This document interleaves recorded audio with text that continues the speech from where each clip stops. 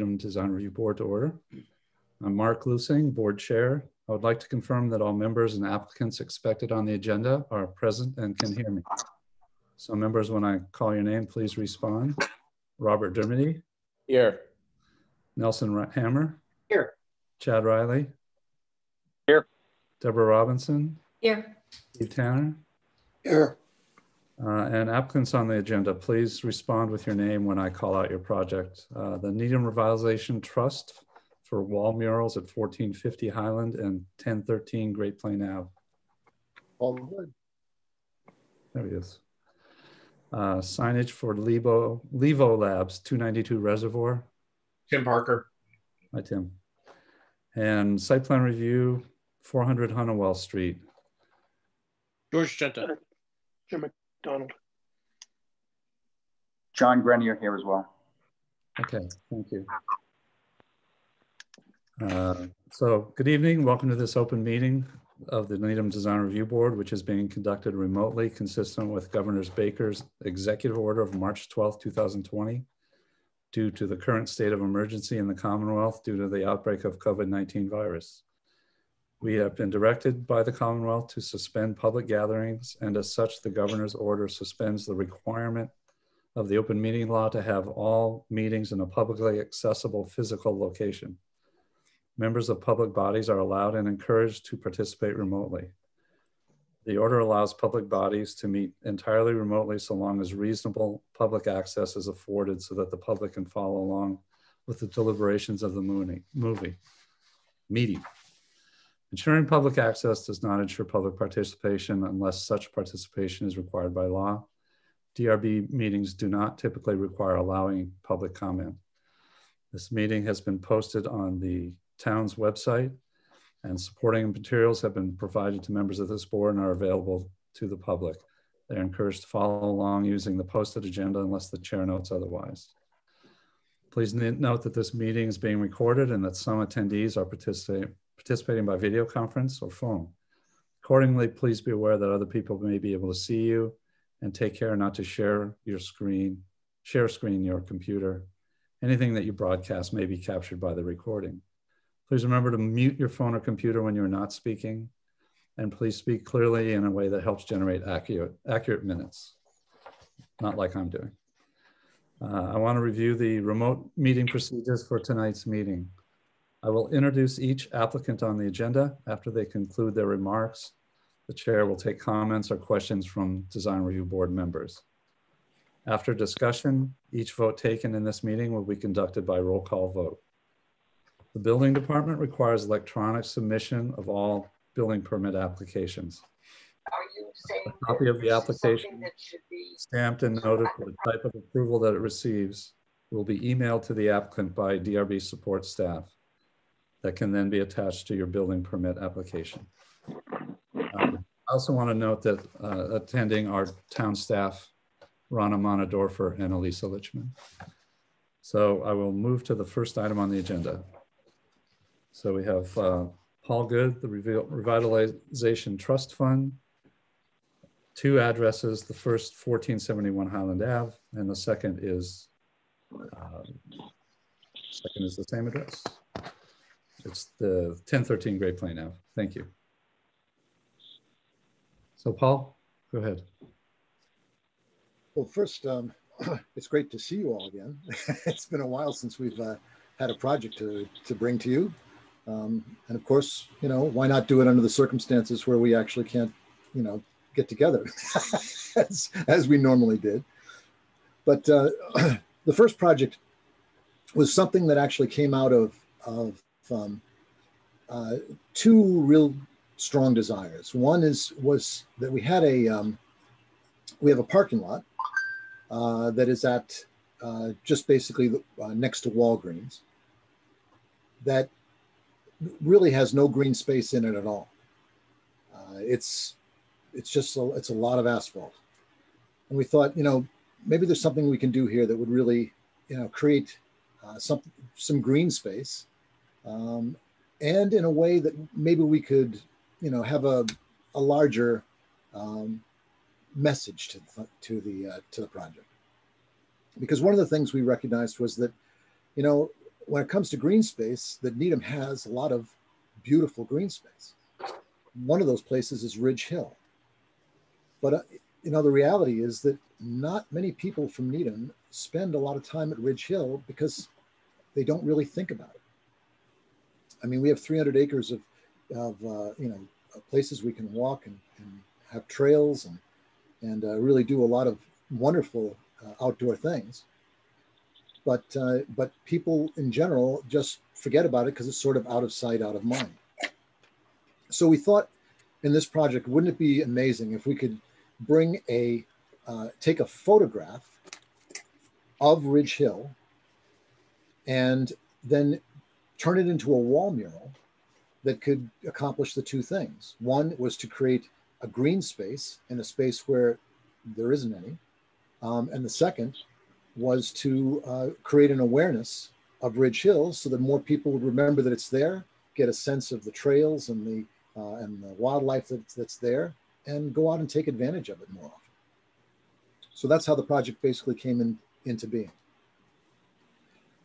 The uh, technology to do it, um, first of all, uh, you know, we've done, you know, some wrap type projects, not in the music, but of course in the, uh, in the physical dimension. Um, and uh, one of the things that we've uh, had done a lot of research on was, you know, what if we could do a wall mural that in the future, if it needed to be removed, that it wouldn't damage the surface of any of the of any of the places where it was, as opposed opposed to the more conventional way, which is basically that you know you paint onto the wall, and then you have you know whatever the future um, issues are with uh, peeling or uh, other types of things that also tend to rely heavily on the artists themselves um, to be available to fix anything that was you know, that was damaged or, or just aged. So the uh, uh, 3M is, has uh, created materials that are specifically designed to be able to do this type of thing, um, even to the point where they have uh, it's a stretchable material that actually uh, conforms to the uh, to the grooves and and um, indentations in a cement block wall, um, which this is. so we looked into those materials and uh, and found that they had a, a, a great product, uh, several great products that are integrated into this that would uh, allow us to do this. And thanks to uh, a wonderful gentleman named Seymour Levy, um, who went out in the spring about I think six times to be able to photograph uh, Ridge Hill as it was basically you know blooming, and he found uh, one of the shots that was we felt was like the perfect combination where you have the the arching of the branching of the tree coming in from the side um, and then the look sort of down the down where it crosses the road uh, with the trees on either side. And you can literally stand in that spot um, at that part of the season and and be able to get that same view. But there was one more piece to it we wanted to make sure that when we were integrating these things that that uh, we wanted to be able to have people connect to the trails and to the wildlife that's there. And so uh, the photographs that you actually see in the side of that, uh, in those bubbles around the right hand side, the circles, uh, are actually real photographs of uh, actual animals who were at uh, Ridge Hill at the time they were photographed uh, or directly around that area. And so we've got a uh, you know opportunity to be able to show off the, the wildlife, the trails, and the green space all in one spot.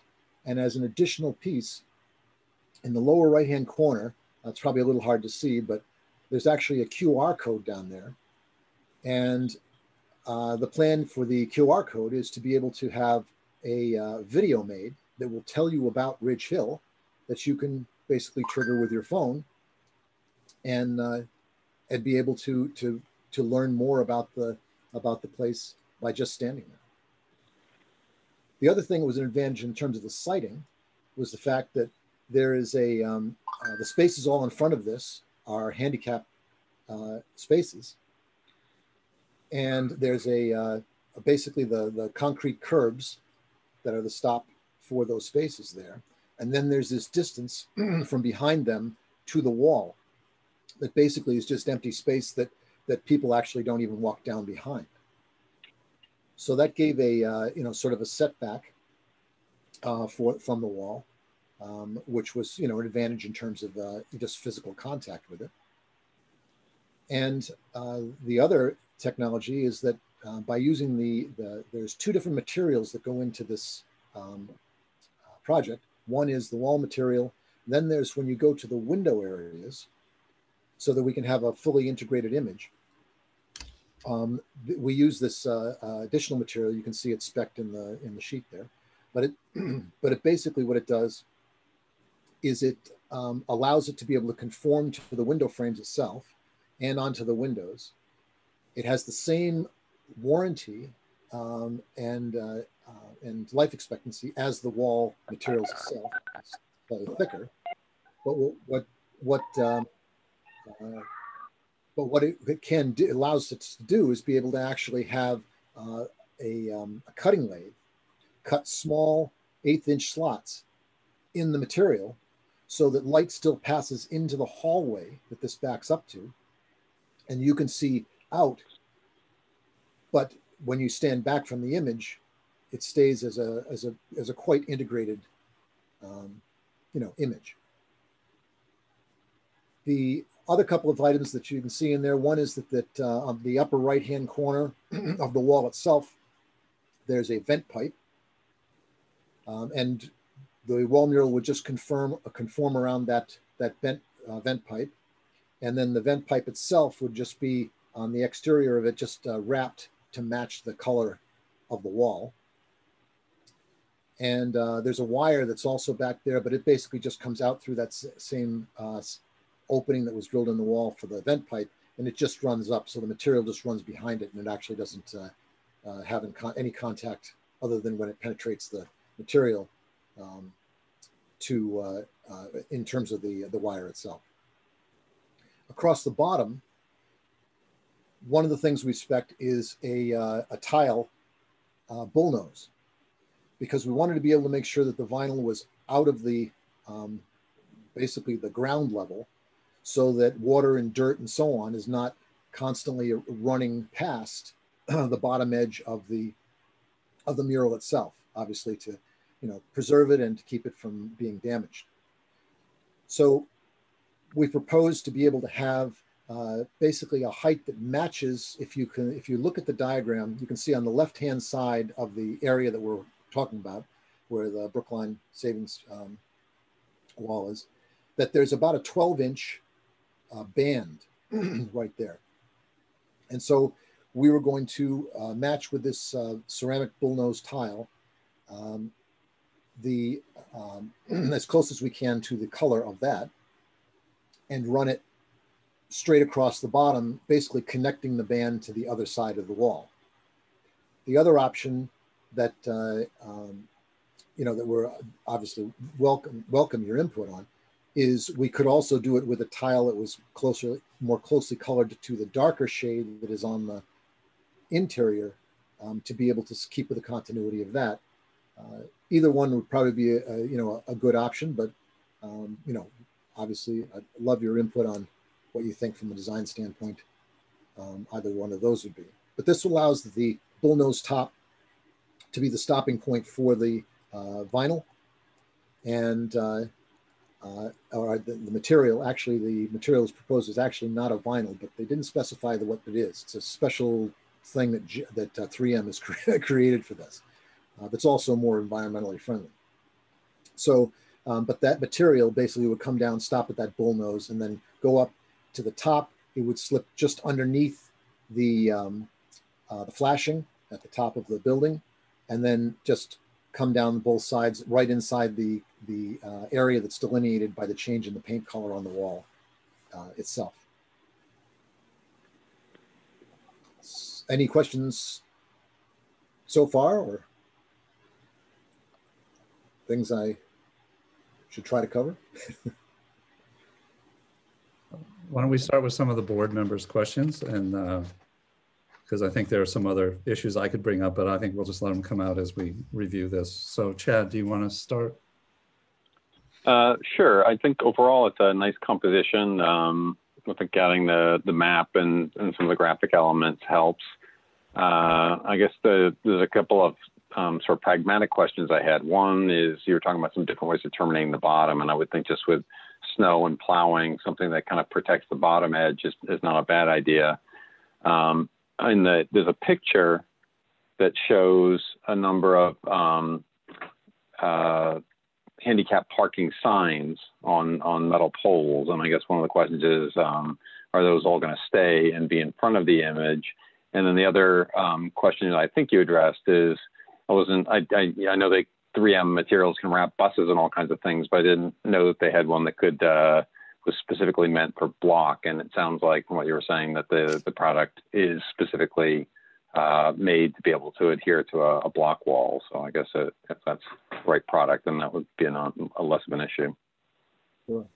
Uh, to, to answer your question about the um, about the handicap signs, actually one of the things that uh, when I first started working on the project, which is a couple of years ago, that um, uh, that I um, had a conversation with uh, with town engineering just to say, you know, are there any options in terms of being able to do this if we had some kind of mural?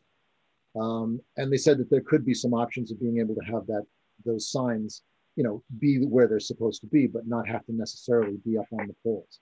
Now, I haven't revi revisited that with um, with Tony um, recently because uh, I know laws change, and you know, that's a, it's kind of a fluid thing. So uh, that would be absolutely one of the things that we're looking to do one of the concepts we had was that they could use the existing, um, uh, cut down the existing poles, but leave them where they are, and then potentially run a chain between the poles and attach the sign itself to the chain, which also stands back behind these, um, you know, parking stops. So based on the distance and so on, they could look at it and, and just make sure that whatever the tension of the chain is, that the, that the, the sign itself could not you know, move farther forward, even with heavy wind, um, beyond those concrete uh, footings at the at the bottom. But that was that was one of the um, uh, other optional uh, thoughts we had in terms of being able to address that, because obviously the sign is due. Okay, Steve. Well, I agree with Chad. I really like the composition of the layout, but these uh, handicap signs, they are regulated by code. They need to be like six feet above the ground. And I think that they should just live with them. Um, putting a chain is going to create its own problems. Uh, you get kids going through there. They can be fooling around with that chain. I wouldn't like to see a chain there. Uh, I think we should stick with the code and just have the signs and make them you know, looks like you have two signs, one under the other. Maybe you only need one that says handicap parking, and it could be like blue with white letters instead of white with blue letters. Uh, and it would still meet code, and the blue would kind of blend in, and they would uh, live with, uh, just live with it. Yeah, one of the questions I, I didn't know also is that there are actually four signs that uh, that are in front of that center section of the wall. And I didn't know it, there must be some specification for it, but I didn't know whether it was necessary to have all four, um, even because all the sign, all the um, parking spaces, of course, are all marked on the pavement itself. Um, but that was another question we had: is do you need all four, or could you use one at either end, and then, um, you know, or one in the middle, and some, you know, just some other combination of it that might make it uh, uh, less less of them in the in the viewpoint. But obviously, you know, even if even if they have to stay, that uh, your idea of, of, being able to reverse the colors uh, could make it blend into the wall much better, and that's a very interesting idea. I mean, I don't mind going a little gray with the laws and have one at each end. Uh, if the park, if the ground was marked right? I don't think anyone's going to object to that. Well, that's that. That's I think that that might be a really uh, you know a, a great alternative because it's really the two center ones that are the ones that you know block the primary view. I do think going back and looking at what the accessibility state and uh, federal ADA say about signage and parking is, is a starting point, though. Sure. Yeah, I mean, obviously, we'll do whatever we can to. We have to be. It has to be right. Several of those signs are identifiers for the business. They're reserved for patient parking. They're not a required sign, they're a choice. So you can talk with the landlord and the tenant and decide which ones they really need. And the only ones that are required are the handicap signs. Mhm. All right. um, May I say one thing? Sure. Um, the ten- tenant signs, they may be able to put on this, just put reserved and the tenant's name on that green uh, concrete um, uh, part that uh, blocks the, blocks the, from hitting the wall. And it'll be very low and out of the way. Okay. They could put the tenant's name there. Okay. Nelson, any questions, comments? Yeah, the, um, the curb stops that are there now are parallel to the wall, even though the parking spaces are diagonal. If the curb stops were to be turned so that they're perpendicular to the parking spaces, they'd be a little bit farther away from the wall. Give a little bit more room for the, the vertical, uh, no parking signs, the handicap parking signs, which I agree with Steve is something that, uh, you really can't lose in the event of uh, inclement weather, uh, mostly snow, but even sometimes with heavy rain, you can't see the uh, handicap signs that are on the ground. So it really becomes necessary rather than just uh, helpful to have the vertical signs. The other, the other question I have is um, how fast does this vinyl stick to the uh, block? And the reason I'm asking is that um, uh, I guess, would it be possible for vandals to peel it if they were to cut it? Um, I'm, I'm concerned about what it might look like a year after it's installed. Well, um, the bonding that it does is uh, is very strong. I mean, if someone comes up with it to physically cut it, uh, that's you know almost anything that we we have that come up with you know with the intention of being able to physically damage it. That's just a risk. Um, I can say that that uh, uh, first of all the um, the color fastness and, and so on of the material itself is guaranteed between three and five years. In fact, um, depending on the application, uh, that 3M is, is uh, often um, willing to be able to go five years on their warranty uh, to be able, if the application is using the exact combination of things they recommend for that specific application. So uh, that's something that's, that's negotiated with them when, it, when you actually buy the materials from them. Um, but uh, uh, but this, but the reason I mention this is because if something were to happen to the panel, you know, within the first, certainly in the first three years, that the amount of fading um, or, or, you know, deterioration that might happen just, you know, that always happens subtly when anything is out in the, uh, you know, in the public, uh, in the, atmosphere, um, should be uh, very minor. Meaning that if, you know, if the panel had to be replaced, these are basically applied by um, uh, overlapping the seam. And uh, so individual panel, an individual panel, which would run from the top to the bottom, uh, could be replaced if it had to. Okay. Steve? Uh, can you, can they put a UV film on top of that 3M material? Like a lot of vinyls, they do that. And that inhibits the UV light from fading and increases the life of the of the panel. Yes, actually, um, one of the uh, the um, film that the last piece of the film that they put on uh, is exactly that. It's so this does have a UV film on it. Yes. What what happens is they they do the imaging, then they have a a uh, then after they do the imaging, that the that the company does the imaging then applies the uh, sealing film on top of the image so that uh, which has UV inhibitors in it and, and significantly helps cut down the uh, you know the sunlight deterioration. Steve, uh, Paul, would the block wall require pre-treatment to help bond the uh, the vinyl to the block?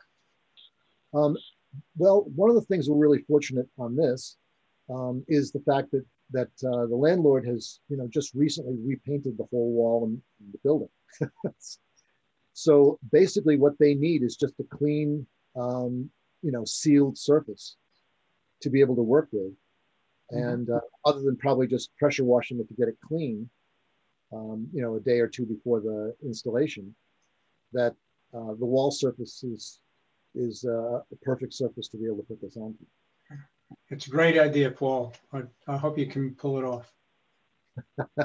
well, it, you know, um, you know, once uh, you know, once it's approved that that uh, you know, we we uh, basically just we put it out for funding, mm-hmm. and you know, it's a it's a cooperative effort, and uh, you know, we've got a lot of good people who are really excited about it, and I'm happy to, you know, I'm ready to shoot another video to talk all about it and see if we can rally people uh, along the lines that we've done for some of the other projects. So, okay, uh, let me say, Bob, you have any questions?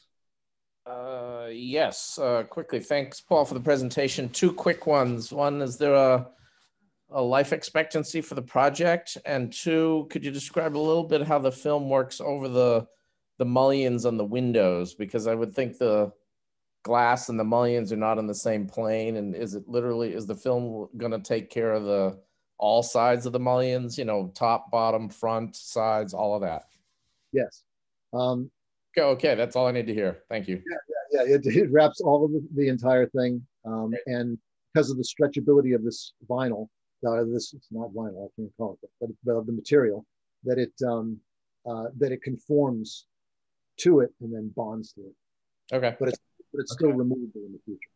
All right, thanks. Uh, life expectancy, um, like project. Well, the uh, as I said, the manufacturer will often go to uh, five five years on it, and we'll certainly be going to be negotiating to try to get that to be the case. Um, and uh, in general, having spoken to a variety of different companies that install these types of materials, that the uh, the life expectancy is usually about uh, double the warranty. so um, we're hoping that it would be uh, still, because remember, you know, even when it does fade, it tends, tends to fade evenly and gradually. So a lot of the subtlety of the fading doesn't mean that, you know, suddenly the wall mural doesn't look any good anymore. Um, it just means that it doesn't, it's not as brilliant as it was. Um, so okay yeah, so over time, we're we're hoping that we get at least eight to ten years out of the out of the installation. Okay, thank you. I, I think when you when you're talking with the manufacturer, I mean, um, maybe they've already been to the site and they've seen it, but it's directly south facing on mm. masonry, which is going to just absorb heat in the summer. So it's, it's a from the standpoint of of um, you know applying something on it's it's going to take about a, as much pounding from the sun as, as you can imagine. So it's good to be clear with that about that with the manufacturer when you're negotiating it. Yes, and and and we and we certainly will. And if they have any other additional recommendations to be able to, um, you know, to deal with that, or or uh, you know, additional products that they have to do it, obviously, you know, we just want to do it in the most uh, resilient way it possibly can be. Okay, Deborah, do you have any questions?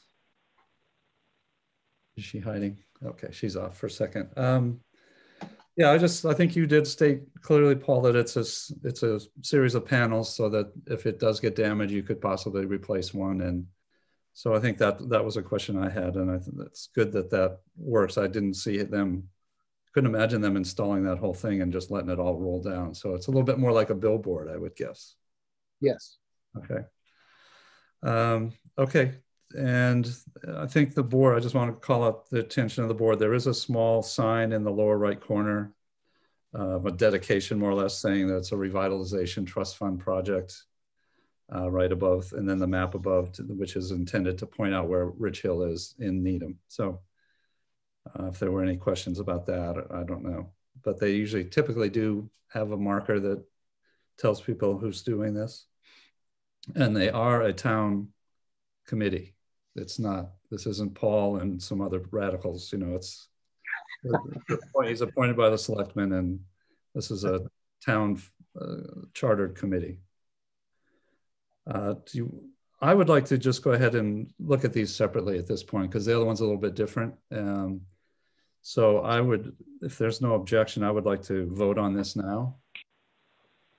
So I would take a motion to approve the, One more quick question, Mark. Sorry about that uh, sign that says the Needham uh, Trust Fund. I have no problem with it. Just how big would that be, Paul? Um, I'd have to get the, the sizing for the inches, but I mean, we're, you know, the idea is it probably be uh, six or eight inches tall. And then while it looks basically, it's, it's an image that's made to look like a little brass plaque. Okay. Okay. and its intention is just to be able to designate that the that that's the revitalization trust fund and then this and have the sponsor uh, name or names in that area. That's really its only intention is to get those things you know on the into the mural How many sponsor names might be included? well um, let- let's just say that the only ones that would be no because I, I definitely get that. The that uh, only lead sponsors. Meaning in general in, in in some projects that will have some two or three um, or maybe top possibly four at the most uh, lead sponsors who have donated a significant amount of money to be able to to uh, do the project. And then all the other sponsors which could come from you know could be $100 $25 and other kinds of things. Um, would all be listed on we list them on the website with the lead sponsors at the top and then all the other donors uh, listed below not on the wall Okay. Thank you. any other questions? Uh, would it make sense to have the map and that plaque a little higher in case there's a car parked in that location? uh, we could do that um, I'll I'll have um, the graphic designer look at that and see you know how much it up a little bit to do that Okay, that, that's a recommendation. I'm not gonna make that a requirement, but it No, no, doesn't, it's, it's a good, you know, perspective thing. And, and one of the things that we will absolutely, absolutely do too is, um, you know, when we, as we work through the process, is that we will, everything will be, we've got very accurate site dimensions for all of this. We've got a very high res um, photo, um, but even with that, we're still going to go out and, and as the company that produces it starts to put their graphics together, we'll go out and, and do, you know, tests see exactly where things are showing up. okay. Any other, anyone else? All right, so I would accept a motion to approve the mural at 1450 Highland Avenue as submitted. I so So moved. moved. Second. Okay, uh, we do the vote, which I did not write down this time. Um, so Bob Dermody, Aye. Nelson Hammer, Aye. Chad Riley. Aye. Deborah Robinson. Oh, Steve Tanner, Aye. and the chair votes in favor. Thank you. All right, so moving on, the second application from the Revitalization Trust Fund is for 1013 Great Plain Ave. Uh, A small changeable mural on a panel, a a blank panel on the, what's currently the Needham Center Fine Wines. So Paul, why don't you go ahead and tell us about the thoughts on this one? Sure. Well, this is a, this is kind of a, a, a uniquely different project because the intention behind this was to be able to have a, a uh, an attractive looking display that um, you know still had a decent amount of size for a wall mural, um, but that it would also allow us to be able to change it. And with whatever frequency you know that was appropriate. And so we started searching around for being able to find any type uh, types of systems that would allow uh, allow that to actually um, be possible. You know, we weren't trying to invent the wheel. We, we looked out into the into the world to find if, if somebody had had come up with you know a a, uh, a product that we could use for this application. Um, and so, uh, in just a moment, I'll get to to talk about how this uh, unique framing system, uh, you know, really can be applied here. But uh, but the concept of this really started out from the project that we uh, had put together a few years ago called From Needham to the World. And it came out of the, the concept that there are a lot of really cool people that have done things in the world um, that have lived in Needham. And I just sort of discovered this when I was in conversations with uh, Gloria Greis and, you know, the History Museum and, and that.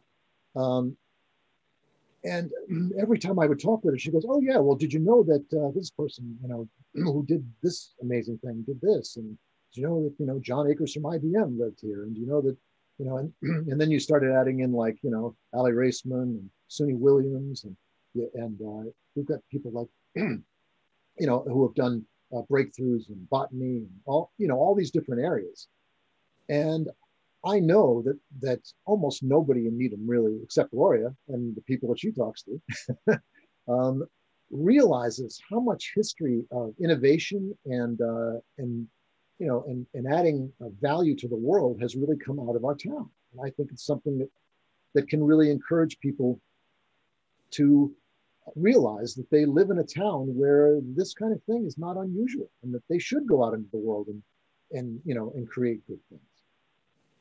So um, we uh, started to put together a list of the, uh, the starting list of the number of people, uh, and it was starting to really add up. And we said, you know, wouldn't it be great if we could come up with a way of being able to tell the stories? Okay, why don't we move to that, Paul? Because we've got we've got a bigger agenda tonight. So, so tell us about the physical reality of this panel. Really, we understand that it's changeable. You have a number of candidates, but what what is this thing and how does it work? So basically the way the, the system works is that a graphic would be created, uh, and you can see an example in your packet. A graphic is created for that, the, the, that particular spot. There's a frame, which is called a snap cap frame, which fits into that area. It's, it's then uh, attached to that, that uh, wall. Um, and the frame itself pops open on all four sides the you can use vinyl or the equivalent, um, just like you'd print out a banner. It goes into the frame, and then the sides all snap down, and then uh, and then it's held in place for uh, it, for however long that you're going to leave it in that in that area. You can also use um, rigid material in the same kind of frame, but for our application, because of its size, uh, that you'd have to have more than one rigid panel, uh, and we don't want to seam. Um, but in but in the uh, vinyl material, you can go to the full distance and be able to snap it in on all four sides. So one of the things that that the way the frame is constructed is that um, uh, the uh, maximum distance that we can span is uh, before you, you move past the extrusion length uh, is about eight feet. And we're about at 14 in terms of its width. So what they do is they create two seven foot pieces. They butt together with a, with a single joint and the two frames attach. And then those, those sides just lift open just like it does, um, you know, for, for all the sides. And uh, to lock it down, um, we've come up with two different uh, uh, design. One was just actually uh, sent to me Uh, uh, uh, earlier this evening, which was basically the manufacturers come up with, with a lockdown screws. I had sent them a proposal about some another screw lock method, um, but they've come up with a way of being able to lock the screen, lock the frame so it can't be lifted open, and uh, that looks very straightforward in terms of being able to, you know, unlock it and lock it, and uh, it just keeps people from, you know, thinking about trying to flip the thing open and take it away. Okay, uh, let's open up some questions. Uh, Steve, do you want to, you have some questions or Oh, comments? yeah, I do. Um, I, I'm I'm wondering first what the size of this is, Uh, I think it is- physical dimensions. it's about 14 by 7. Yeah. See, where this is located, like right in the center of town, something this big could people driving by could start to look at that. And I would think it'd be a distraction. People on the on the intersection driving the road. I think there should be more scaled down a little bit, mainly for pedestrians. So I really like this complex uh, concept, but I just think it's a little too big. And I, I think it could cause problems uh, with traffic, you know, passerbys trying to look at it and read it, and they should be concentrating on driving and let the pedestrians look at this. That's my point. That's my take on this. Okay, uh, Nelson? Oh, um, to, to counter what Steve is saying, the, the, uh, the, the, uh, video screen on the GBH building overlooking the Mass Pike hasn't caused any accidents yet that I'm aware of. And that, that's a lot more visible than, than this would be. I, I don't know that, uh, it would be, it certainly would be a distraction. I don't know if it would cause any problems. I don't have an issue with it. I, I think it's a great idea. The, the video screen you see from a half a mile away. Right, exactly. You don't have to turn your head to read it. Oh, I hear you. Okay, Chad? Uh, I, I definitely think it's an intriguing idea. Um, when the Fine Wines moved in, they had proposed a mural for that location, um, but they, they what they presented really, se- I think, to the board felt a bit more like an advertisement than a mural. And I think we we'd always left the possibility open, and if it was something that was more artistic and mural-like, um, then we'd be open to it. Um, I have one kind of sort of question just about the sort of technical installation, and then another one just about sort of graphics and what gets represented. So um, I'll mention the technical one, then I'll mention my other uh, question, and I can listen for the response. Um, unlike the film, which stretches tight, if we're putting a vinyl or something in there and then snapping it shut, is there going to be sagging or other things where it looks like a temporary banner that just happens to be snapped into a frame? So that's sort of one question. And then I guess sort of somewhere in between what um, Steve and Nelson were saying, um, on the opposite side of this building, there's an actual painted mural that has sort of a big scale to it. And I think the scale is in keeping with the wall, and I find it to be very successful. And it's sort of a, there's, there's a, uh, because it's sort of large in scale, you know, even though it's down an alley, it's not like a distraction where you sort of focus in. And I think in terms of what is presented as sort of a sample um, of what this might look like, uh, to me, it looks sort of small and fussy and a little bit more. I've, I've granted there's a lot to tell about, you know, um, Bob Larson, but uh, to me, it seems like it needs to be a little bit more like a mural in scale and something that's giving sort of a general impression. Um, this, you know, I think it's just this is sort of too busy and fussy. If, if and so, I, I, one question would be an ongoing one about when it's time to replace and put something new. What sort of process is there for um, reviewing the graphics and what gets put up before it gets changed out or before the the installation? So to me, it's really two different um, approvals technically. One is the idea of putting the the panel up there that is a changeable panel, and then the other one is a review and approval of a specific sign that might go into that. Okay. Do you want, do you want me to answer those now, or do we want to wait for this later? Yeah, go ahead. So, um, according to the to the manufacturer, that well, when you when they when they actually create this frame, they've done very large size uh, images inside this frame, and um, I spoke with the uh, with the manufacturer of the frame, who has been doing uh, making this frame for quite a long time, or versions of the frame, um, and uh, they feel very confident that there's no sagging, that it you know it'll be it'll look just like a flat, even um, plane. The um, one of the things that we're going to uh, one of the things that, that, that's incorporated into this that you can't really see is that when you flip those uh, pieces open, there's actually an adhesive band that runs around the perimeter on the inside. And so the vinyl piece is actually sized to uh, fit uh, the inside dimensions of this with um, when, when, it, when it's impl- applied, it's basically uh, first stuck onto this perimeter rim. So you get the tension pulled into it um, initially. And then from there, when the pieces snap down, they pull it tighter by pulling it against the material on the inside of the frame. So, uh, So Paul, who's, who's going to be installing this repeatedly? So you do one for 10 months and then you do the next one. Who, who installs the second one?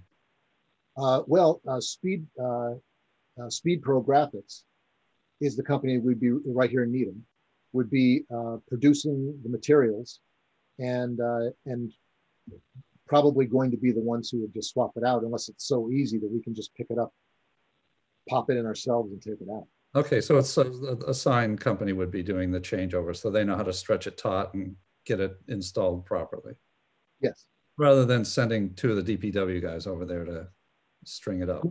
This, this, uh, it- you know, either, um, if Not that it's, DPW guys aren't good, but yeah. no, no, no, it's it's just that, you know, they've got enough responsibilities. I need to worry about this. But yes, we, we, the Modernization Trust Fund would make the arrangements to be able to have it swapped out um, anytime there's going to. And our hope is that, you know, maybe about every six months um, that uh, we would do that because the, uh, the cost to swap out, once the, the unit is installed, the cost to swap out the vinyl is, you know, is not, uh, not super expensive. So it's, it's it's something that's affordable to be able to be changed more often. Okay, Um, the other question you had was, um, uh, well, that's fine for now. I was to see if Bob had any questions or comments. Yeah, quick. Um, I, uh, for the full disclosure, Mark, I was a DPW guy in college. There you go. Um, the uh, a little, I agree, it's busy. Um, and I- I would add into the busyness that we have this image with all of Bob's wonderful works, and then we have gift baskets and gourmet items in the view. So I see some confusion here of Bob Larson's wonderful career and the uh, the business of selling gourmet goods and gift baskets. Plus, in the view we're shown, we don't see his name because of the awning, and that's unfortunate uh, because this really is about a person, and you know the image below that uh, not really valid because it doesn't have the awning in it. So that's a concern. I don't know what the uh, building owner might think of that, or the you know the Needham Center Fine Wines people, or yourself on how that might all be resolved. well, a couple of things. One is, um, you know, we gave gave the two views because when we did the initial design of the graphics, we did it in consideration of the fact of well, with the desire to be able to create a template that the concentration of the of the information would be in the, in the visible part below the awning, knowing that you could be standing at the town common, looking across the street, and you want to be able to see enough of it so it, it sparks enough curiosity that it looks int- and, and still and looks attractive. And then when you walk up on the sidewalk, that then you you'd have the pieces that were revealed in the upper section as the additional information that you get from it. Um, you know, as far as the placement of the name, you know, there's there's no question we can flip that. Um, you know, and as far as the, the concentration of things, um, that's the question you asked about about who was going to review the the images. And um, normally, what we do with the uh, with the um, uh, with banners is with that we uh, take them for approval with uh, select board. But if the process for this, because it's so graphically oriented, um, you know, is to bring it to you guys, then you know that's that's okay with us too. Okay, thanks. Yeah. Um, Deborah, are you back Yeah. No, okay. Uh, yeah, I think, uh, I guess given the commentary, I think that the installation and the concept we're fine with. Uh, it sounds like it's going to be a good thing to fill that panel and that's a nice, it's a nice tribute to residents. Uh, from what the members are saying, what I would like to, Paul, is just suggest that we would condition this on getting a final review of each panel as you do them, just so that we can get a sense of things. Um, this is something we look at a lot, and uh, we might have. I- You know, I think there's interest on the board on kind of making sure this does. Uh, there's probably there's probably always going to be more information that you want to put on there that then we're going to be comfortable to trying to cram in. So I think we, if we, you can work with us on that, I think that would be a nice, uh, nice, uh, nice way to approach it. We can just look at them with you and figure out some things, and it might might take your graphic designer a revision to get everything right, but it's not, you know, it's worth the time, I think. Yeah, no, that's, that's perfect. And I totally get, you know, the idea of the, if you have too much on it, um, same thing applies to banners. Too much on the banner, you can't read it.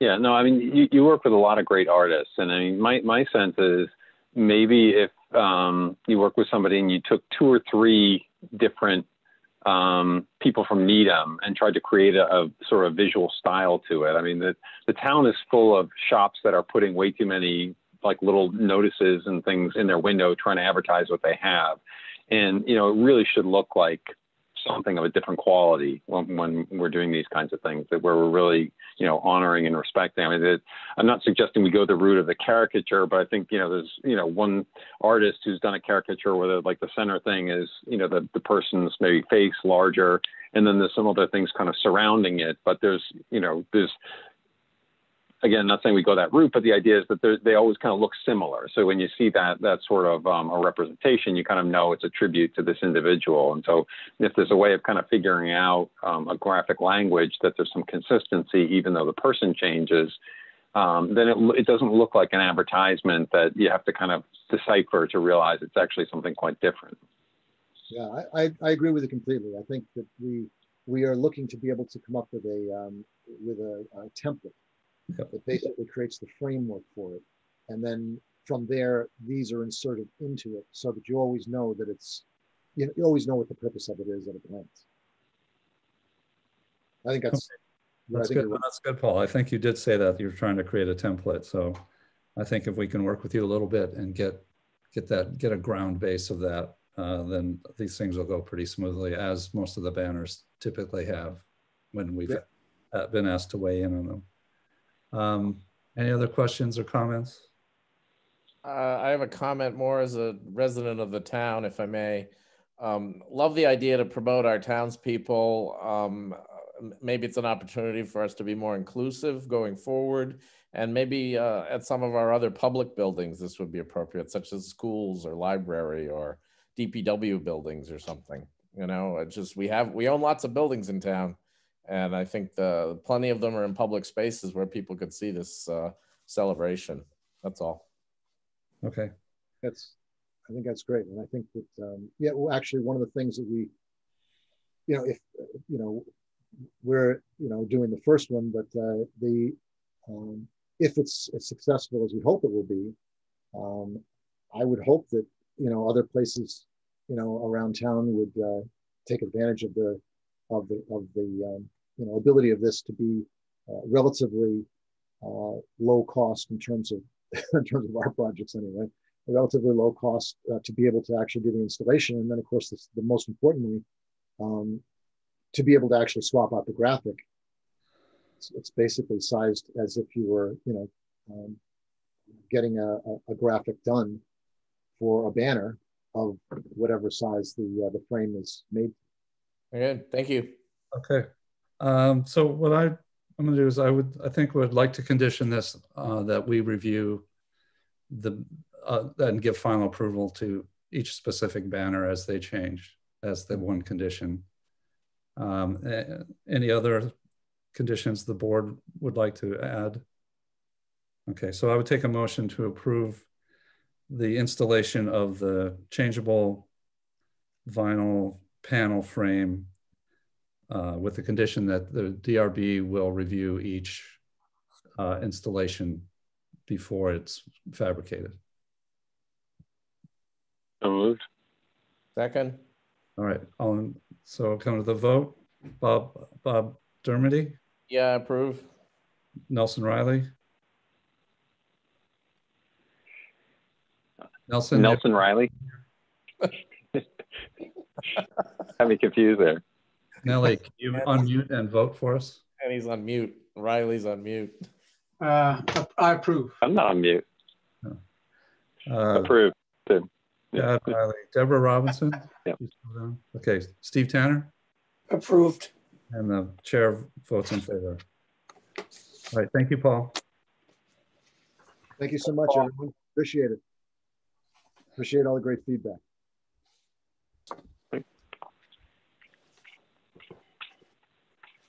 Wasn't Nelson Riley a comedian? Did I say Nelson Riley? Charles Yes. Nelson Riley. Yeah, yeah. Charles Nelson Reilly, Yeah, right? that's it. Yeah. Okay, I Blast got from the past. Nelly and Chad in order, and then I'm confusing myself. You're the comedian, Mark. Nelson, Hollywood Squares. Yeah. Nelson Hammer, that's who I was talking about. That's right.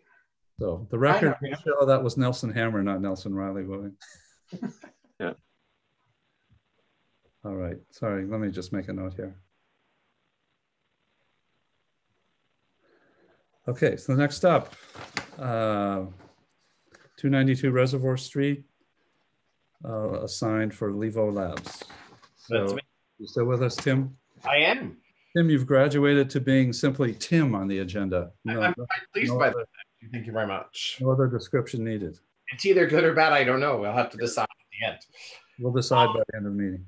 There we go. Excellent. Well, good evening. Uh, so we are looking to. This is a renovated building at the end of Reservoir before you turn the corner and have to make the U turn back out. Faces uh, the highway. It's at the end of the block of two services, uh, two businesses, and we're looking for a standard aluminum bar frame, uh, black uh, 3D acrylic letters on a white base. The building is cream and gray. It's just been renovated, literally brand new. Um, the garage door is 144 wide, so we're centering our 72 in the space above. And the overall height of the sign band, including the two moldings, top and bottom, is 39 inches, and we're looking for 24.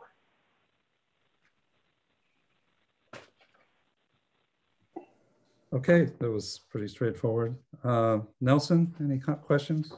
Uh, I'll pass for a few minutes. Uh, you want to take another look at this? Okay. Uh, Deborah's not back. Steve? Um, my copy's printed out in black and white. What are the colors here? So the building, Black and white? it's just black and white. The building is gray and cream, and our frame is black, white background with black letters. And the color of the area that the sign sits in? it's sort of a really light tan. So it's the everything you see in the photograph that's light is all the same color, including the uh, back panels to where the scoop lights are, including the moldings around the windows. Everything that you see, if your picture is black and white, everything that you see that looks gray or darker is all also the same color. It's the building is two colors. Okay. Uh, Chad, do you have any questions? Uh, it's fine. I mean, I, to me, black lettering on a white sign always just looks a little bit generic. It might look better if it was reversed with a black background and white letters, but if it felt very strongly about the, Their logo happens to be Yeah. black. Um, the other option we had was to change the background to match the building color, just so that it looked more less stark, or a shade that's related to the building color. And you decided white because they asked for it or? Uh, It's really their color scheme, and it does separate it out from the building itself. And should they move, they can also take the sign with them, and it isn't particularly specific to the color of this particular building for some reason. Okay. Uh, who am I going? Steve? This is not exactly a downtown sign. I think the black and white is fine. Okay. Uh, Bob? Yeah, I'm, I'm looking at Google Earth and I'm not sure when the photo was taken, but it appears the day they were rebuilding the building or whatever. Um, so the couple things, the location of the sign appears to be over a garage door. Is that Yeah. still? because it's at the far end and it, the other end actually is just this small little entrance, that door, and Yeah. it's off center. And that end actually is exposed a bit more to the highway as you make the turn at the corner at the end of Reservoir. Are they the only occupant of the building? No, there's another tenant at the far left side. Okay. Um, yeah, it's really, f- uh, and where will they, people who want to talk to the Levo go in? Basically, the garage door, according to them. Okay. Um, next thing in the photo, and again, I'm just going off Google Earth Yes. because it's not as visible in what was presented to us. That upper band in which the sign is supposed to reside has some um pronounced verticals. Has some vertical dividers, and the center one will be cut out so that the sign sits flush. So you'll see a bit at the top, you'll see a bit at the bottom, and then the sign will sit in the middle. Can they just cut out the whole vertical? Well, then it leave. You mean it just make the whole sign band one one thing? Yeah. That? Yeah, I don't see why. I can't imagine why I not. don't know what my colleagues think, but I don't know about going to the trouble of having a few inches of that vertical on top of bottom. I think it might also help align the garage door into the building. Okay. That's my thought. Um, and I think that's that's it. Yeah, the the white and black. I don't. It's the white. I think might be too white against the at least the color scheme I'm seeing here, but I'm not opposed to it. It's. I will compliment you. It's a clear sign. We have plenty of signs that aren't this clear. Thank you. I appreciate it. Thank you for that. We can also tone the background down to a lighter gray to Yeah. just away the bright whiteness if that's something that you are concerned about. I am. I just think, um, and it doesn't have to match the color of the building. Still, it could still have a tone. But a gray in this case would be beneficial to their logo and their overall aesthetic. So even just a like a 10% rich black, which would be a very, very light gray to tone down the bright whiteness of it all. Yeah, I think that would that would be good. Sure. Okay. We can Thank Yep. We're pretty open here. It's a pretty straightforward, like you were saying, Bob. It's pretty straightforward. It's just their name, a frame around it with a back panel. So in this case, it's an easily adjusted thing to make it aesthetically pleasing. And it's not illuminated, correct? It is not. Thank you.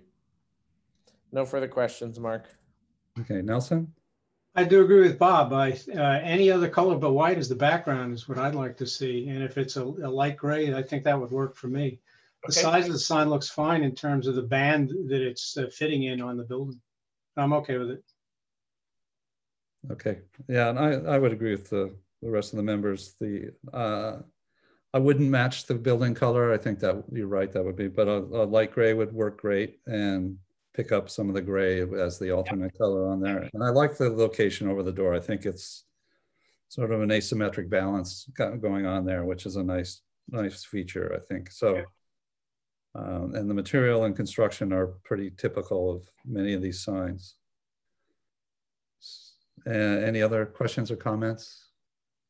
Well, Bob, Bob mentioned that these vertical elements, which we can't see, oh, Yeah, and okay. if the sign is hollow in the back, can't they just like notch out a spot so it goes Well- over the vertical element?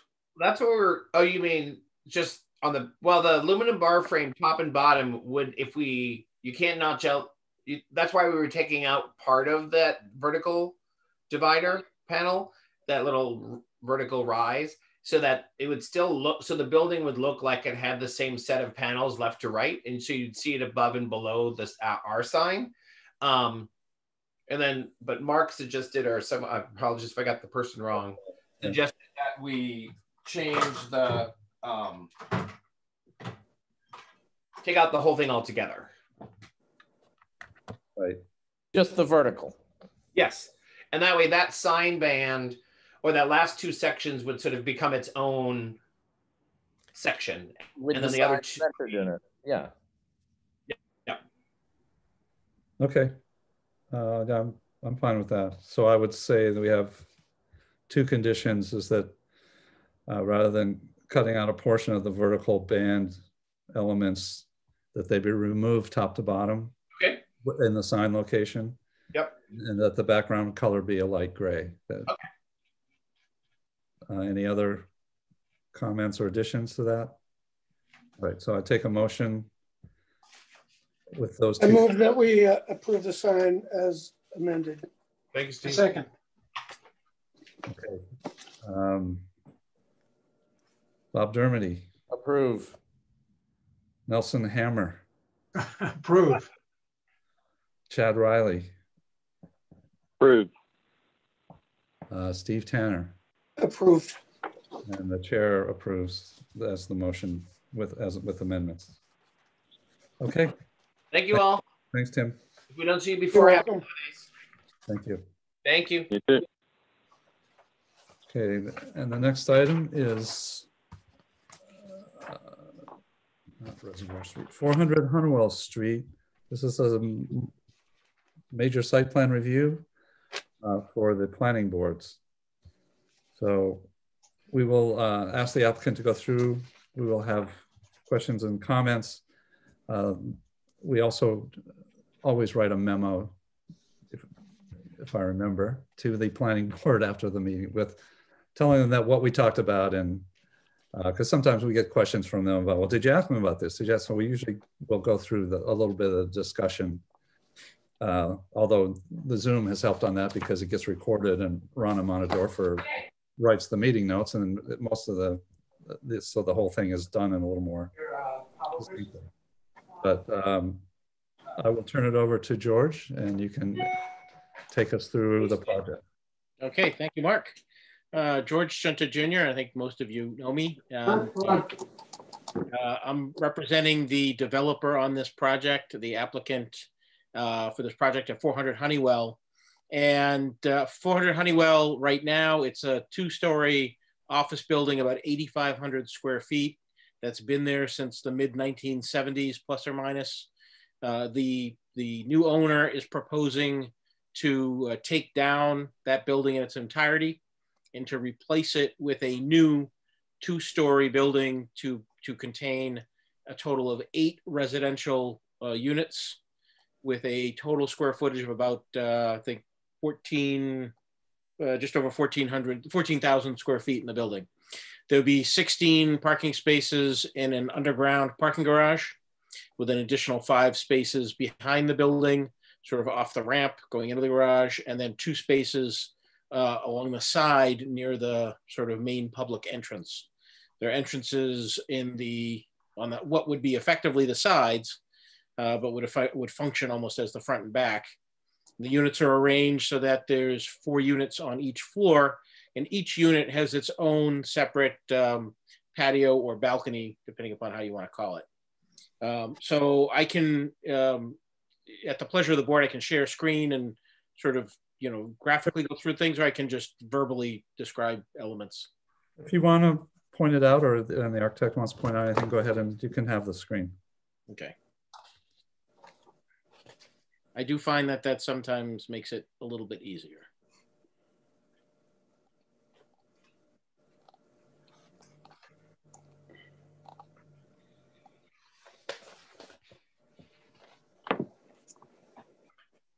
All right, so I'm just gonna go through the site plan real quick here. So this is the existing building, right? You can see it's basically kind of a, a T-shape or hammerhead type shape. Uh, effectively what we're doing, it's almost the equivalent of filling in these negative spaces here. Uh, and right now you can see there's parking along this side of the building and then parking in the back. And there's a shared easement or a shared driveway that comes in. And there's some parking over here that services the small building that's over on the side. And this is what is proposed to replace that building. Again, as you can see, it's basically kind of filling in those two corners. We keep this existing driveway because it's a shared easement, a shared driveway coming in, and then this ramps down to provide access coming down into the back of the building here for the underground parking with the five spaces here. Uh, this would be area for dumpster uh, back in this corner. And then we've got two spaces up here, including the handicap accessible space right here.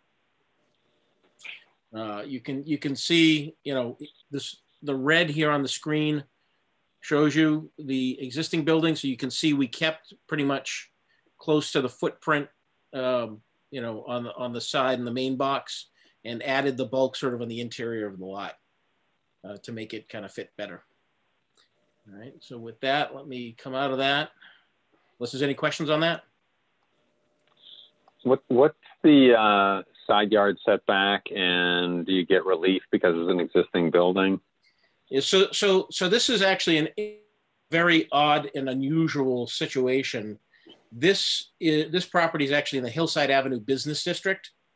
And in the commercial business districts, there is effectively no side yard setback for the most part. There are some exceptions, um, but they're very limited exceptions. The primary exceptions being when you when you have a commercial or non-residential use of the lot, then if you adjoin a residential district, then there's some buffer zones that come into play, anywhere from 10 to 25 to 50 feet. But in this particular case, you know, we've got, this is our residential district boundary up here.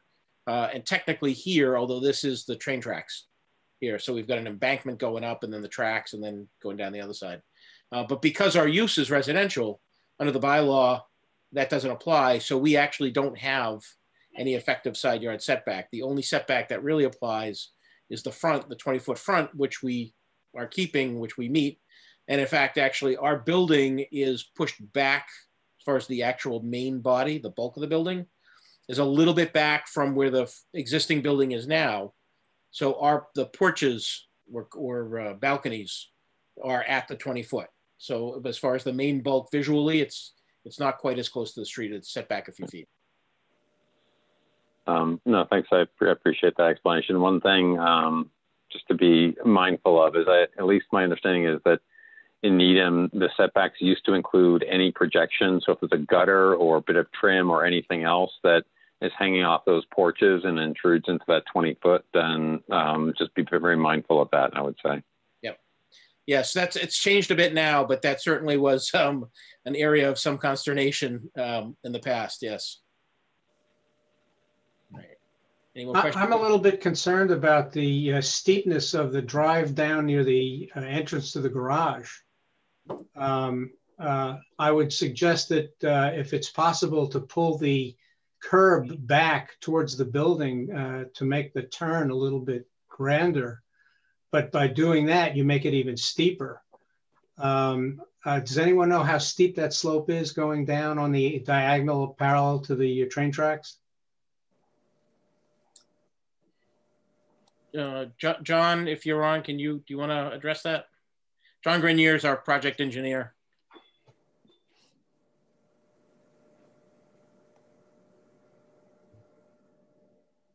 Leading the fifth.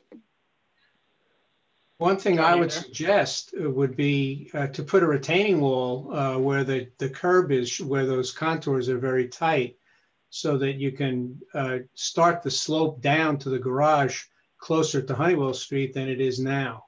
I don't know if that's possible, but making that less steep, I think would be much safer. Yeah, un unfortunately, this from basically here all the way back to here has to be kept flat or relatively flat because it is the shared uh, entryway, shared common driveway. So we can't, we really can't change uh, any of the grades in any meaningful way through here we can only start changing it, you know, back in here as we actually start getting into the slope. Um, and there is actually, there is a, you know, there's retaining wall back along here. And then this actually, uh, this will obviously function as a, as a retaining wall coming down around. Mm -hmm. Yeah, this, this actually, when we did our pre, uh, our pre-review with engineering and planning and whatnot, uh, this was one of the things we looked at. And uh, unfortunately, we don't have very much wiggle room uh, to really change much around here to make the basement level work to make it all kind of uh, pull together. Um, but but uh, the the engineers have have you know we've basically done this so that it, so that this this will work as it's designed. But, but yeah, this, this, is John Grenier. I'm I'm sorry, I was on mute.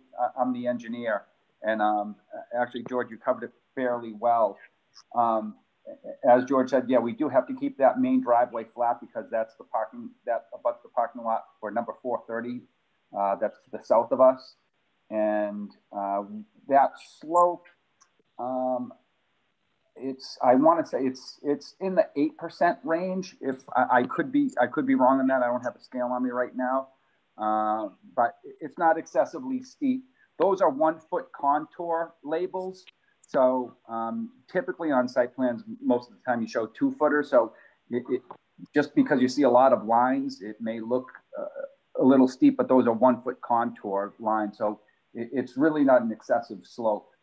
Um, If it's, if it's eight percent where the, the contour lines are parallel, it's twelve or fifteen percent where you turn the corner towards the garage. Uh, any thought given to heating that portion of the driveway during the winter? um, going down that slope, Yes, Um, in, in all honesty, we haven't really thought about it. Um, I, I don't know that there would be a need for it. We do have a catch basin at the upper end of that slope. So any, any of the runoff coming from um, both the north and the south would be captured with, with a catch basin. Um, kind of where you see the label, um, the, the um, dimensional label, the north uh, 010E there's a catch basin right where that um, that 80 that 198 contour is. It's, it looks like a little square. There's a catch basin right there. So we're capturing all the water so that won't be sheet flowing down the slope to the back. And then in the middle of that parking lot, in the back, uh, at the center portion about where that spot shot is, that 199.58, uh, there's another catch basin in, in that location. So that captures everything at, at, at the, the lower level. But um, I think the main point is we're, we're capturing, we're not sheet flowing a lot of water down that slope. We're capturing it before it goes down that slope. okay. Uh, can, can emergency vehicles get down that slope and get back up? Certainly can't turn around. They're not, if you have a, if you have a fire engine, they're not turning around. Obviously, they're going to have to back their ways out. But if you had uh, something like an ambulance, um, they'd be able to um, turn around and, and go back out the other way. But uh, an apparatus like a fire engine is not going to happen. Yeah, the, the fire department will weigh in, I'm sure, and the DPW. That's they they always review these projects, so they'll Yep.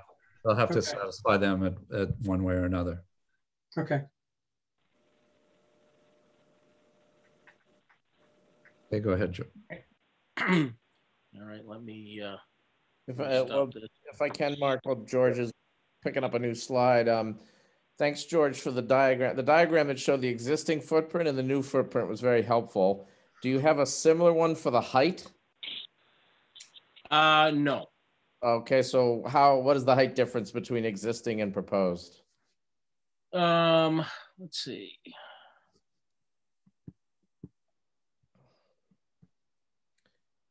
I think I want to say, I think it's probably about it's three or four feet maybe. Um, but hold on, and I'm gonna and I'll ask maybe for either uh, Jim McDonald or Kent Duckham uh, to see if they can address that. And let me put the architectural plans up now, so at least you can uh, so you'll see the building. See, Yeah, it looks to be about 27 feet to grade. So go ahead.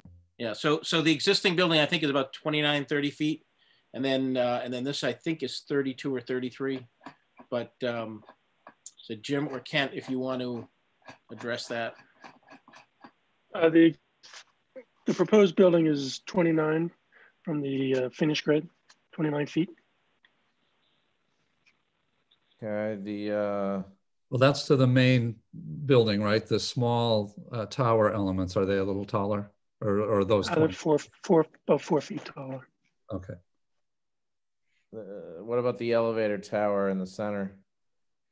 In the back, um, and maybe eight feet, eight feet above. Okay. All right, so not a dramatic difference in height then. Right. No. Good, thank you. Right. And and you know, this the district allows for a two and a half story, and we're you know, we're we're effectively doing um, sort of a, a bulky two, for lack of a better way to put it, but we're keeping the two stories similar to the, the building that's there now, as Okay. opposed to doing a, you know, the, there's a, there was a similar project right next door that happened, uh, I don't know, 10, 15 years ago, uh, where they did kind of the same idea. They, they put in multiple units, but in that one, they did it in three buildings. And of course, each of the three buildings has, you know, they've got uh, the half story above. So it actually is, you've got much more bulk going up all the way. All right, so so we have um, so we have here. You can see the the basically the front elevation. You know, looking at it from Hunnewell Street, Um, you've got the, the essentially the four units on the front side of the building, each with their own balconies, right, and set of windows across the front. This is the, the steps in the middle of the building, as you can see on the right side elevation here. Uh, so this is the steps that come up to the sort of the main entry door, the handicap ramp that comes up to access that.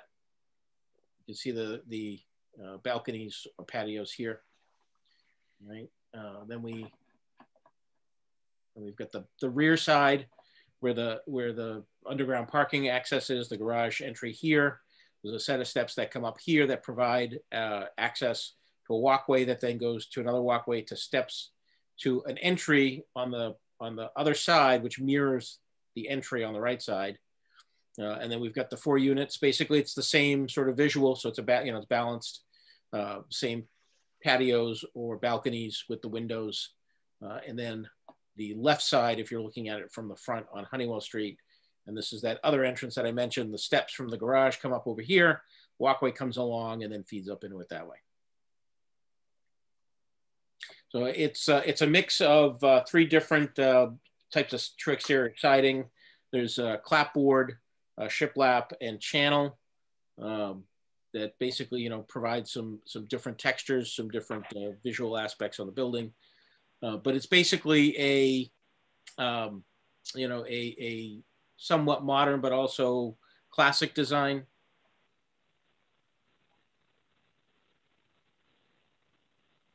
And uh, if you have questions about that, go ahead and and otherwise, when you're done with that, we'll go on to the landscape.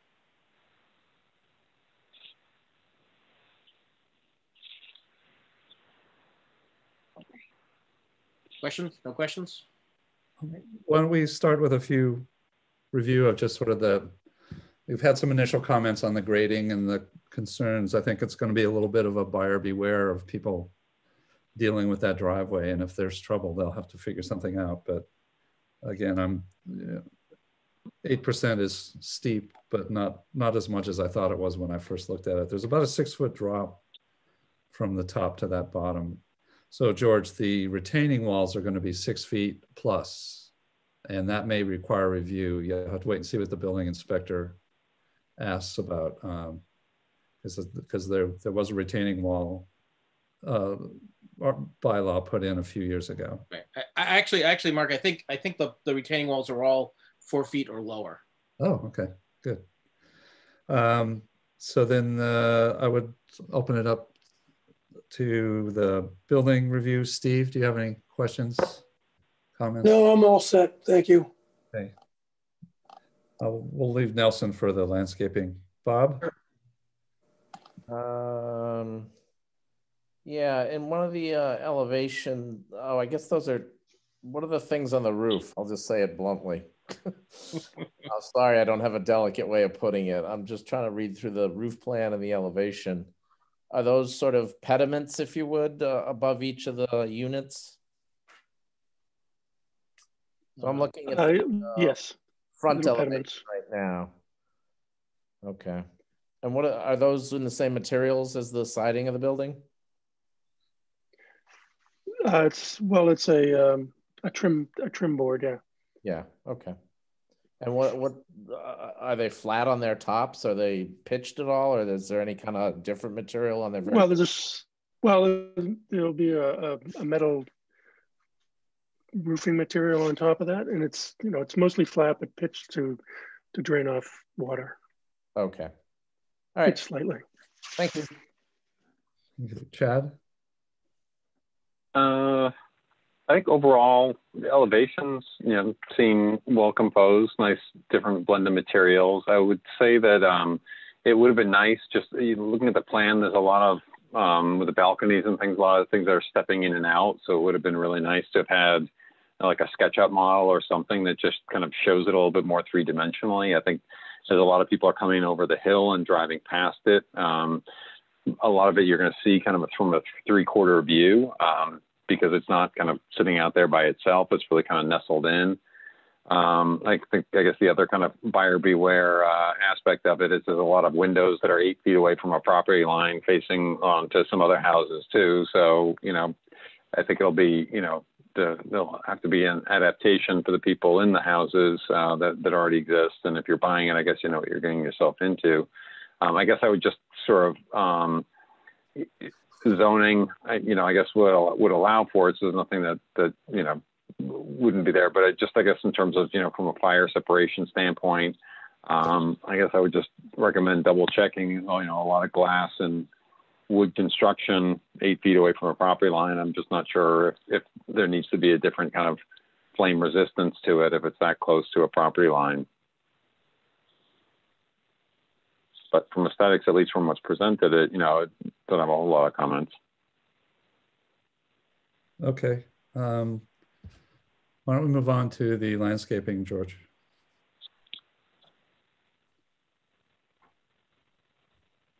Oh, George, you want to take us through the landscaping? Yep. Let me let me just pull that up here. All right. Okay.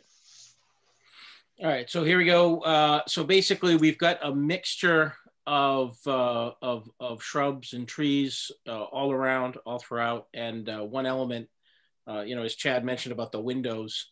Uh, you know, one thing we've got is a, a privacy fence proposed for this entire property line basically to, to provide some privacy on both sides, um, you know, given the proximity here and the proximity on the other side. Um, so as far as, you know, as far as the landscaping, um, there's a mixture of, um, of, of, five, you know, different types of trees throughout. And one, cut, one thing I do want to point out, we've already gotten some initial feedback from both uh, police and engineering uh, that this particular uh, tree right here, this, um, the Armstrong red maple, uh, this one has to come out. They this is it's too. They have concerns about visibility, both with respect to the driveway and then also um, you know with respect to the the street.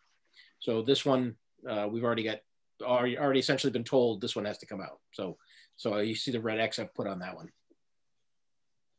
Uh, but then then you know we've got uh, a good mix of of different heights uh, all around, all throughout, coming down the side. So it provides, in addition to the fence, a sort of a, a green buffer. Uh, certainly in the in the front, there's a good amount of, of vegetation that will add to the aesthetics and provide for some buffering uh, at different heights. So you don't have that just you know, you know, low uniform shrub that that sort of doesn't really distinguish or really do any good for anybody. I'll give you a minute to take a look at that. You have uh, four um, crab apples in the lower right corner of the site. Um, do you know how wide those uh, the spread of those trees are as shown on the drawing? The reason I'm asking is that those crab apples have a very low crown, and if they're they extend out into the sidewalk, it'll prevent people from walking past them you won't be able to walk under them like you would uh, some shade trees. Yep. Uh, I, I, do not happen to know that. I'm not sure if um, any of the other team does. But we're, that's noted. Well, it looks to be about eight feet. Doesn't the, uh, the mature spread of a, a Sugar Tyme crab is uh, 10 to 15 feet. And uh, they're not the kind of trees that would want to be pruned in order to be uh, kept that size. They, I mean, to, to keep them within the sidewalk, you may want to consider a different species in that in those four areas. Okay.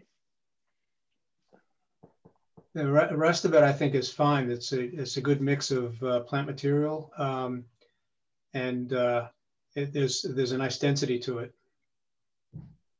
I, I do think Nelson, those crabs are in a bed that's slightly raised uh, if, as you remember that driveway sloping down, and that's a small retaining wall. It's not as big as the one on the property line side, but right. Yes, I think there is that a, help. It looked like at, least it would, at, the, at the bottom it would help. Yes. It, it, these are the ones you're talking about here. Yes. Yes. Yes. Right. Yeah. Right. So this is this is sloped down. So so I think your your comment probably would apply more to these two and not so yes, much. That's correct. Yeah. And is there much site lighting going to be happening? I see some bollard samples, but is there any other uh, expected exterior lighting? Is it going to be on the building? Jim, Ken? Uh, there, will I'm sure there'll be some, um, but uh, I, um, I, I can't um, speak about that at the moment. Yeah, ge- generally on the residential developments, it's, you know, it's limited to sort of just accent lighting. Um, unlike commercial where you've got, you want to have, you know, big spotlights illuminating parking lots and things like that.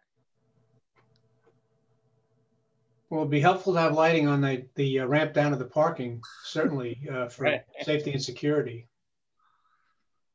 Um, You're showing uh, permeable concrete pavers uh, near the, uh, the front. Uh, Are they required for the stormwater mitigation or uh, just to be environmentally cool?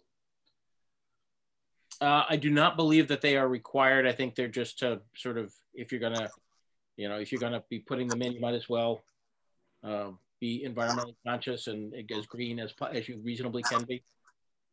Yeah, that's correct, George. We don't need, we don't need those to, to uh, meet any, any stormwater or, or drainage requirements. Okay. The only other question I had that wasn't clear to me is the, uh, the railing construction. There's a fair amount of railing on the, as a decorative element and as, as an architectural feature on the, both the front and back, and then there's a long ramp. Uh, What is the thought on what the railing's going to be made of? I imagined it to be uh, like a stainless steel, some sort of um, clean, clean line and A Pipe rail or cable rail or, uh, for the handicap, it would probably be a, a pipe rail. and the balconies? Um, that I imagined it to be uh, maybe the um, cable rail, but um, is is um, thin as possible, I guess. Okay. Okay. Um, Mark? Yes. Yeah, quick, couple quick questions. Um, how tall is the fence between the two properties? I believe that's a that's six feet. Okay. Um, I think that's a good idea. Um, obviously, the first floor will be well above that from visual point of view, but it's still good, I think, on the proper, on the ground level. Um, is there any mature or semi-mature vegetation existing to remain? Uh, mm, no. There's, there's really not a lot of landscaping on site right now. Okay. It's that little office building and a parking lot for the most part, isn't it? Yeah. Yeah, well, I was thinking more on the back line between the neighboring residential property. That's, Um, it's paved to the edge, I think. Yeah, yeah, it's all, this, this is all pavement all in here. In fact, really the only landscaping is, is like that little bit up in front. Well, then this will certainly be an improvement. Um, has anybody asked you about snow removal? Not, not yet, but I expect that will be one of the things that uh, planning will certainly. Okay, I'm asking about snow removal. So, so, yeah, I mean, slope, et cetera. It, we, um, you know, in a lot of the, the sort of the modern projects where we're doing things like underground parking and, um, and sort of, sort of more creative designs, uh, we, we have to be more mindful of snow removal. So typically, it's basically you have to, they have to anticipate having snow pulled out, you know, unlike in a traditional setting where you can maybe just plow it and bank it. Uh, it's going to have to be, you know, sort of like these, probably these five spaces will get lost uh, for a day or two in a significant snow event. And then the snow will have to get removed from here and taken out. okay. I'm sure you're thinking about it. Thank you. Yeah, no, that's, that's always an issue these days now. Yeah. I, I didn't ask in the beginning, are these rental units or condominiums? Condos. Okay. All right, uh, any other questions, comments from the board? No, thanks for uh, all the answers, everybody. Yep, thank you. Oh, just one more about the garage door. Okay, Are these, is this controlled electronically by each tenant that opens and closes as they go in and out? Or is that door left open, anyone can drive in? Uh, closed electronically. Okay, okay. Um, so I didn't, we had some different concerns other than the sort of the flowering crabs uh, in the lower right area planting. I didn't feel anything significant that would be a condition we would want to impose unless that is uh, anything anyone wants to do. Uh, snow removal would affect landscaping. Uh, you can you can remove landscaping to create snow removal storage area or snow storage areas.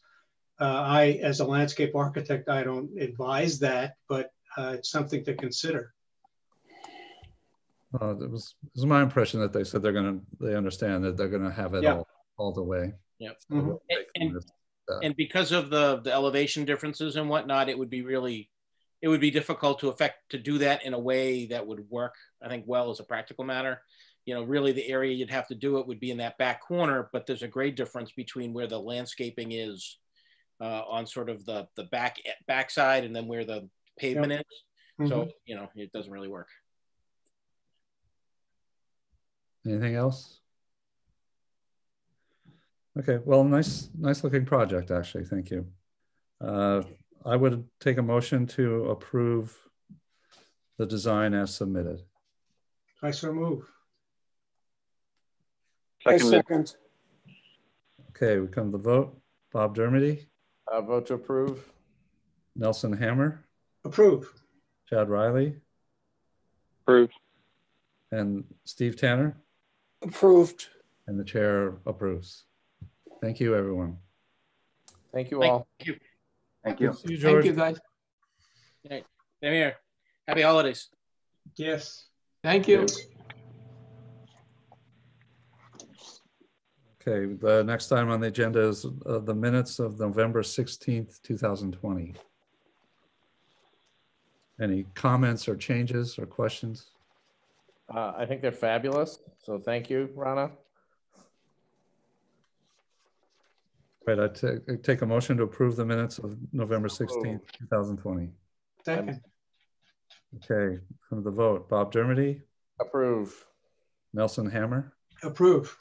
Chad Riley, Approved. Steve Tanner, Approved. and the chair approves. Um, I, I didn't mean not to respond, Bob. I just thought that, I was like, wait a minute, the last time we met was November sixteenth, and then my brain started doing mental math. This year is just bleeding together at this point. It has been quite a year. Yeah, yeah. We have uh, seven from 31, what, 24 days left? Yeah, are there, is there anything else, uh, Elisa? Uh, just, um, just to let you know that uh, the high school has emailed me that they wanted to know when the next meeting is scheduled. Okay, And I I, thought- um, Okay. uh, and I sort of took my time, but I did get back to them. It's on the 21st. I don't know how all, how you all feel about holding that meeting. I have not heard from anyone else about applying to that meeting. It's still early. Um, they'd have to get their uh, documents to me by the 13th, I believe, the Monday prior.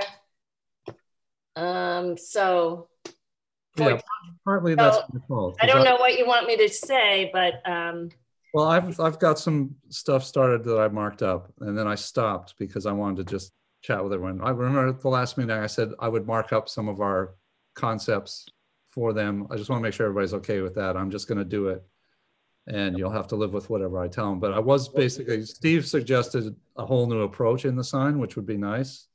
But I think given that they're in a sort of funding cycle with these people, that I'm going to assume that it's going to still be a big granite sign we'll just try and get it uh, to look a lot better.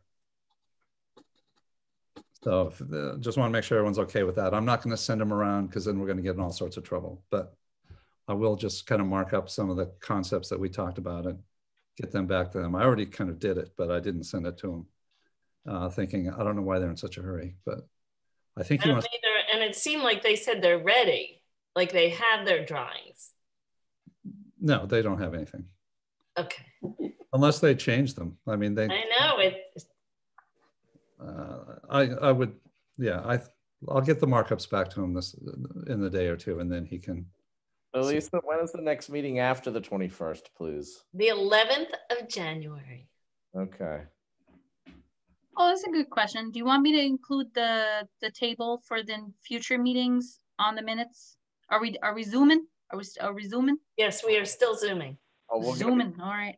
Yeah, until further notice, I would think. Uh, I'm out the 11th, by the way. Okay. I just didn't know if you guys wanted, you know, there's not really no rush for the high school. It's, high but that's just my own pers- personal opinion. And it's holiday season and not that we're all going to parties or anything, but it might be a nice break for you guys. Well, let's see where we are uh, next week. I mean, it's, we got to go through this week. If you get some interest, we'll, we'll hold the meeting.